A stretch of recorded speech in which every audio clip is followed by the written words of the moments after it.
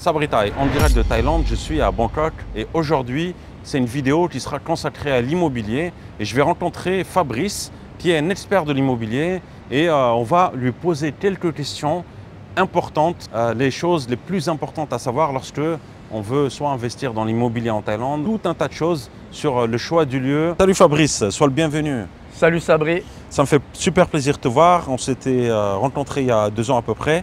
Et euh, aujourd'hui, c'est l'occasion de se rencontrer pour euh, faire une vidéo sur l'immobilier. Première question que j'ai à te poser. Qu'est-ce que, on va dire, un nouvel arrivant en Thaïlande doit savoir sur l'immobilier? Voilà. C'est un milieu qui fait peur quand même. C'est un milieu, ben, surtout que c'est un, un, milieu dont les gens ne connaissent pas. Donc on a l'habitude de l'immobilier en France. Euh, c'est sûr que l'immobilier en Thaïlande, ça intéresse de plus en plus de personnes. Donc euh, les questions les plus qui reviennent le plus souvent, c'est l'accès à l'immobilier. Tu vois, quand on me contacte, les premières choses, c'est euh, voilà, qu'est-ce, qu'est-ce, qu'est-ce que je peux acheter et quelles sont les règles? Voilà, qu'est-ce les- que je peux acheter et qu'est-ce que quelles je sont- peux, voilà, quelles sont les règles, comment ça marche, comment je peux devenir propriétaire? Et toi, quelle est la première question que tu poses? Alors, quelle est la première question que je pose? C'est un peu ben, les questions essentielles. C'est euh, la Thaïlande, il y a plusieurs lieux qui intéressent les gens. Tu Mm. as Bangkok, qui est la capitale, et ensuite tu as les, les provinces, Phuket, on va Mm. partir de- en descendant au sud, Hua Hin, Phuket, Samui, Phangan, et au nord Chiang Mai. Donc, c'est moi, en tant que pour, pour donner le meilleur conseil possible, il faut que je sache quelle est la, la région qui peut coller avec le client, parce que des fois ils ne savent pas. Il me dit je veux acheter un bien immobilier en Thaïlande. Et ça ne veut rien dire en fait, ça. Exactement. Honnêtement, ça ne veut rien dire. ouais. Voilà, il me dit je vais acheter en Thaïlande. Moi j'ai envie de savoir où en Thaïlande. Ouais. Donc souvent, euh, ben, c'est le budget, c'est les, les critères de recherche qui vont faire que je peux aiguiller Mm. la personne sur la zone. Donc à la base, la plupart des gens quand ils arrivent, c'est vrai, pas tous, mais souvent c'est assez vague. Mm. Ça commence par voilà, je veux acheter en Thaïlande. Ouais. Est-ce que aussi, euh, on va dire, euh, une partie de ton rôle aussi, c'est d'aider les gens à se décider où est-ce qu'ils pourraient s'installer? Est-ce que j'ai besoin de, de montagne, Chiang Est-ce que j'ai besoin d'îles, euh, Koh Samui, peut-être Phuket? Tu as que raison, tu as, besoin rais- de... tu as raison, parce que euh, souvent quand je- on parle des destinations, euh, il m'arrive même de recevoir des gens qui me disent par exemple, tiens, je voudrais acheter une villa à Koh Samui. Donc après à Koh Samui, on demande où, quelle zone de Samui, et ils me disent, Ben, je ne connais pas, je n'y suis jamais allé. Mm. Donc moi, le meilleur conseil que je donne, euh, je ne pousse pas les gens, je leur dis, venez déjà passer 15 jours, venez passer des vacances. Si ça vous plaît, on avancera après sur des visites. Mais Mm. venez d'abord voir par vous-même si ça convient, si ça vous convient. Alors, euh, il y a la question du budget aussi. Je pense que c'est... euh, on ne va pas tourner autour du pot. À combien, à quel budget minimum tu estimes qu'on peut parler, euh, on va dire, d'achat en Thaïlande? Parce que être propriétaire en Thaïlande, parce que je pense qu'il y a un budget rédhibitoire. Il y a plein de gens qui s'imaginent qu'avec euh, Pas grand-chose. 30 000, 40 000, ils peuvent avoir quelque chose. C'est quoi Alors déjà, j'ai, minimum. déjà, j'ai envie de dire, c'est la zone qui va déterminer aussi le truc, tu vois. Mm. Euh, regarde, aujourd'hui, on est à Bangkok. Euh, à Bangkok, l'immobilier, il est devenu, euh, les prix ont augmenté, ont beaucoup augmenté. Donc aujourd'hui, un prix minimum, je ne sais pas, un appartement, une chambre de 45 mètres carrés, aujourd'hui, il faut compter à partir de, entre, à partir de 4-5 millions de bahts pour avoir quelque chose de correct. Alors attention, on anticipe un peu les, les Ouais. commentaires. Je n'ai pas dit qu'il y a des appartements moins chers. Il y a. Il y en a à 3 millions, à 2 millions, il y en a même à 1 million. Mais moi, après, ce sont des produits que je ne propose pas. Parce qu'on va, on va sortir du centre, on va, on va baisser en qualité, on va baisser en standard. Et moi, il n'y a plus de valeur ajoutée pour moi. Un client, il n'a pas besoin de moi pour acheter un condo à 1 million de bahts à Patum Thani. D'accord, ok. Tu comprends? Ouais, donc voilà. Donc moi je parle de. On reste dans l'hypercentre de Bangkok. Donc un appartement dans l'hypercentre de Bangkok à proximité des transports en commun, du BTS. Hmm. Voilà, c'est minimum, c'est 4-5 millions de bahts, tu vois. Alors, est-ce que est-ce qu'on a vraiment besoin d'agents immobiliers en Thaïlande ou pas? Parce que Là, tu me dis que je peux acheter seul.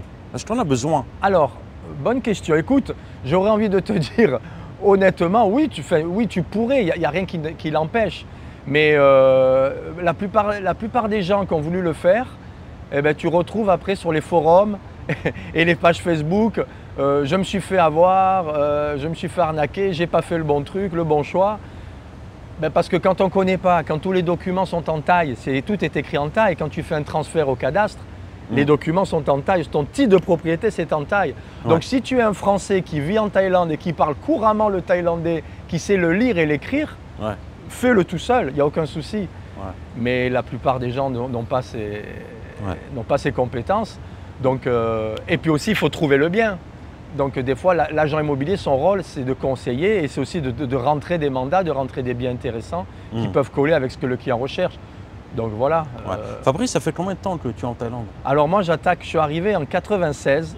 96 Donc j'attaque ma 26e, 27e... 26e année 26e année bah, ici. Bah, tu, tu connais, en connais un petit peu alors sur l'immobilier. Écoute, je peux t'en parler. Alors pour être honnête, je suis là depuis 26 ans. Ça fait euh, maintenant 16 ans. Euh, j'ai monté l'agence en 2006. Donc ça fait 17 euh, ans maintenant que je fais ça tous les jours. Donc oui, je pense, je pense pouvoir avoir la crédibilité pour parler d'immobilier en Thaïlande, en effet. Il y a, il y a quelque chose que j'apprécie en fait chez toi, c'est que ce que j'ai remarqué en échangeant avec toi, c'est que tu pas trop, pas trop pushy, c'est-à-dire que tu mets pas trop la pression.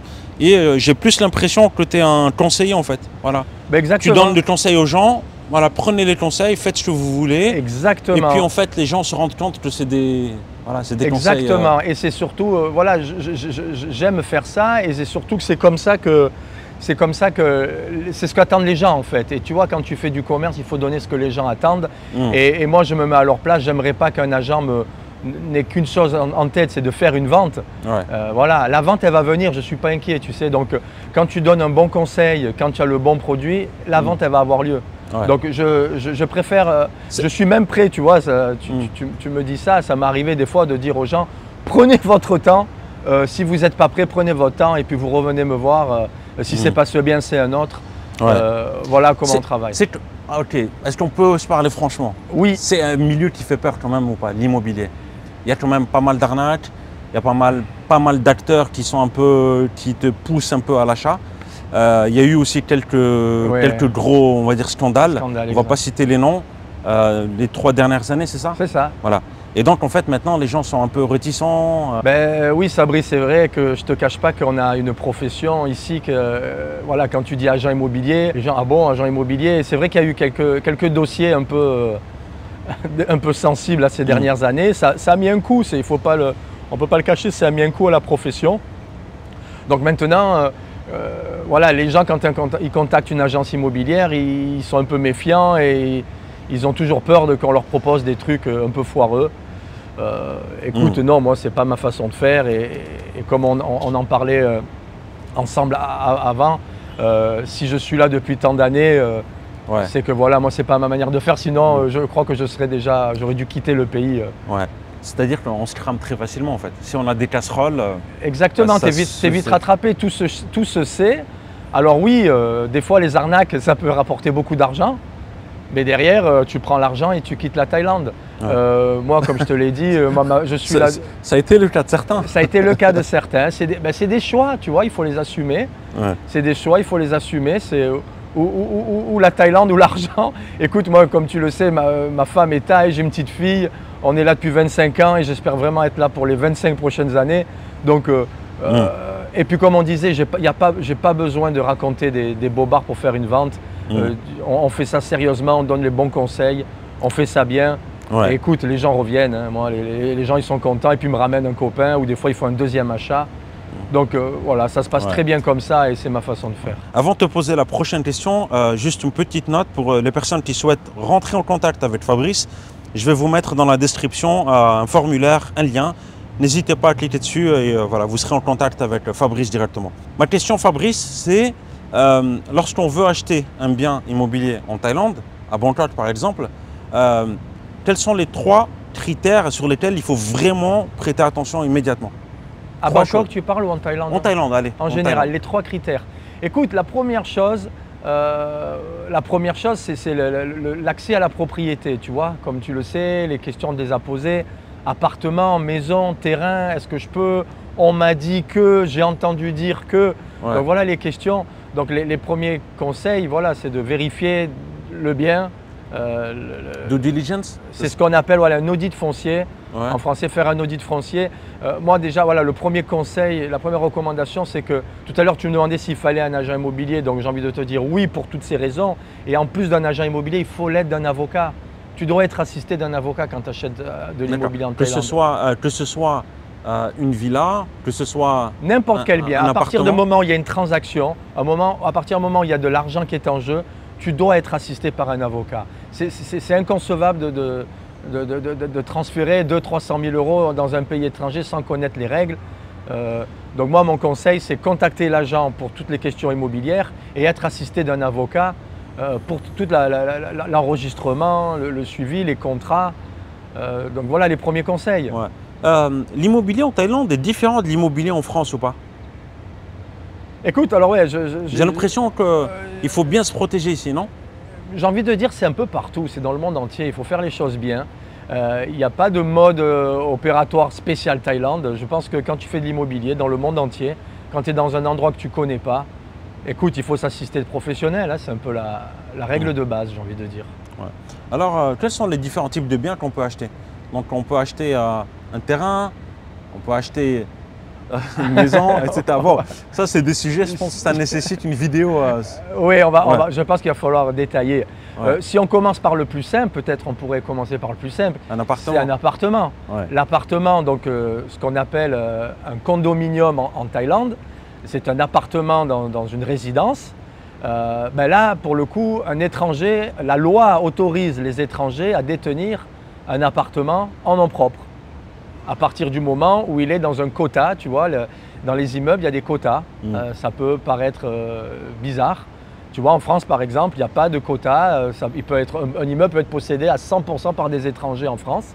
Mm. Ici, en Thaïlande, c'est un quota à, la surface. Ce n'est pas au nombre d'unités, mais c'est en pourcentage de la surface. Ah, d'accord. Ça n'a rien à voir avec les unités? Non, c'est en, pourcentage de la surface. D'accord, ok. Je pensais que c'était si on avait 100 appartements, il fallait que 51 appartements aillent. non, c'est en surface, parce que c'est la, surface. Donc, euh, euh, il faut que ton, le quota étranger est attribué à hauteur de 49%. D'accord. Voilà. Donc, si ton appartement est à hauteur de 49%, ou alors tu rachètes à un étranger, ça sous-entend que tu reprends son quota, tu en nom propre, euh, sur le titre de propriété, donc le chanot, titre de propriété en taille, c'est ton nom, indiquer euh, ton nom comme sur la copie du passeport euh, hmm. sur le titre de propriété. Et je voudrais rajouter à ça sans limite dans le temps. Parce que oh, je te dis, c'est des questions qu'on m'a posées. Je suis propriétaire jusqu'à quand. Il n'y a pas de limite, tu es propriétaire à vie.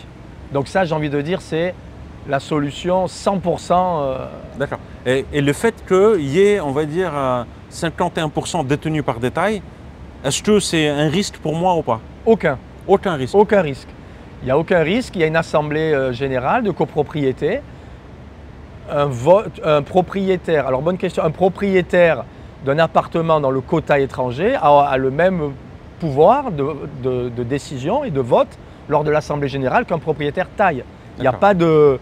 Une voix taille ne vaut pas plus qu'un propriétaire. Euh, Donc, à titre individuel, il n'y a aucune inégalité. Aucune à titre collectif, les tailles ont le pouvoir sur, euh, dire, de façon groupés, collectifs. Ah, ils ont le pouvoir, enfin, c'est en nombre d'unités. Voilà. Hmm, Mais un, ton voisin, Sabri, tu as un appartement, tu es propriétaire d'un appartement, ton voisin est taille, euh, il n'a pas plus de pouvoir que toi. Il est, propriétaire d'un appart comme toi, au même titre que toi. Il paye des charges de copropriété. Ça, est-ce qu'on peut en parler ou pas? Bien Quand on achète un bien, euh, je reçois souvent une question, moi, quelles sont les charges liées à l'achat du bien? Donc il y a des charges de copro. Euh, alors tu as dû le voir, euh, ça c'est une différence par rapport à la France, c'est quasiment tous les immeubles ici, tu as une sécurité, un gardien à l'entrée, une salle de sport, une gym, euh, parking, voilà, il y, a du hmm. service dans ces immeubles. donc tout ça, ça a un coût. Donc tout ça, ça se paye, donc ce sont des charges de copropriété. C'est cher ou pas? C'est un prix au mètre carré. Écoute, alors le prix va dépendre du standing de l'immeuble. On va dire qu'aujourd'hui, maintenant, c'est un peu augmenté. C'est allez, on va dire, en moyenne, c'est à partir de 50 bahts du mètre carré. Et ça peut aller dans des immeubles où il y a des prestations extraordinaires jusqu'à 100 bahts du mètre carré, tu vois, du simple au double. Donc ça dépend du standing de l'immeuble. Ça fait quoi par mois ça? Donc on est, je crois, 50 bahts et à 1,50€ du mètre carré par mois. Donc, entre les deux. Ça tu multiplies par la surface. Par 100, ok. Si on a un mètre carré. 100 mètres carrés, 150 euros. Ok, d'accord. Non, c'est très bien. Ok. Est-ce qu'il y a des pièges à éviter? Écoute, il y a des, alors des, pièges à éviter. Si, je, on, revoit ce que j'ai dit tout à l'heure, c'est que tu assistais d'un agent immobilier et tu assistais d'un avocat. Euh, toi, en tant qu'acheteur, t'as- pas. Normalement, tu es protégé. C'est pas ton rôle en fait, voilà, c'est ça. En Non, fait, non, enfin, c'est mon. Moi. non, je veux quand- dire, c'est pas le rôle du client en fait. non, de- ben voilà. non. Moi, sinon, euh, comme je te disais, il faut qu'il y ait une valeur, il faut que j'ai une valeur ajoutée pour le client quand même, tu vois. Donc moi, le client, euh, je ne peux pas moi, tu vois, par honnêteté, je ne peux pas me cacher face à un client de lui dire, ben non, je ne savais pas, tu vois, je ne savais pas que l'appartement que je vous ai proposé, il n'était pas dans le quota étranger, je ne savais pas que Mm. euh, euh, un immeuble va se construire devant la fenêtre et que, euh, tu vois, il y a des choses que je ne peux pas, non, je dois Mm. conseiller. Donc, euh, Est-ce que tu as déjà évité des grosses galères à des gens? À des potentiels clients? Euh, écoute, il faut que je remémore dans- remémorise un peu tout ça. Non, pas comme ça, enfin, t'as pas. Ben, si, si, Tu le en, mais fait, en fait, je le fais. euh, si, c'est dans le conseil, parce que je, je me rends compte souvent quand on échange avec les clients, souvent les gens me disent Ah bon, je ne savais pas, tu vois, donc c'est que tu leur as donné un, conseil utile, Hmm. tu vois. Par exemple, je peux te donner une anecdote sur des. euh, tu l'as un peu plus sur des. hors, hors Bangkok, tu vois. Euh, sur des maisons, par exemple à, à Phuket ou Samui, où tu peux acheter une maison, mais euh, il y a des droits de servitude, des droits de passage, tu vois. Donc euh, il y a des gens, des fois tu leur dis attention, ils viennent te voir, ils te disent Ben, moi j'ai trouvé un truc, vous m'avez proposé quelque chose à, à 8 millions de bahts, mais moi euh, ben, tout seul j'ai trouvé moins cher que ce que vous m'avez proposé Fabrice. Et moi, j'ai dit très bien, montrez-moi. Et puis quand ils me montrent, je dis vous avez vu là le... Ah ben non, j'avais pas vu. J'ai Ah, Ben, vous avez vu Pourquoi je ne voulais pas proposer et pourquoi peut-être que la maison que je proposais elle est plus chère. Hmm. Mais Donc en est- fait, en fait, tout ce que tu proposes, euh, tu- ça passe quand même un certain contrôle technique. Et Exactement. ensuite, on va dire, c'est déjà élagué. Exactement. Et ensuite, tu passes à une deuxième Exactement. fois. Et j'aimerais rajouter à ça que même malgré tout ça, jamais je ne dirais à un client c'est bon, euh, j'ai fait moi l'audit, vous pouvez y aller. J'oblige les clients et ils choisissent leur avocat. Je n'ai Mm. pas moi imposé un avocat, mais le client il doit, il peut contacter deux trois avocats. Euh, si c'est des avocats euh, francophones, on peut proposer une liste d'avocats francophones, mais le client choisit un avocat et il fait ce que son audit foncier. Mm. Comme ça, il a la, il a la certitude de, de s'engager sur un produit euh, clean. Quoi. Fabrice, merci beaucoup pour ton partage d'expérience. Avec plaisir. Ça, Et on se revoit pour euh, rediscuter euh, d'une autre thématique. ça marche. À bientôt. Avec plaisir.